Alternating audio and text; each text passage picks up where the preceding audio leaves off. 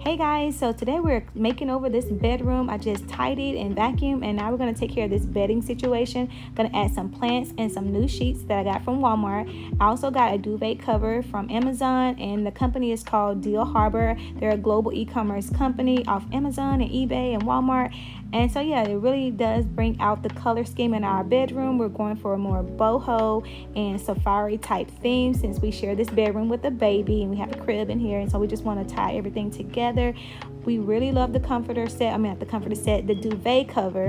Um, we really love it. It does go well with our theme. So everything's linked in the description.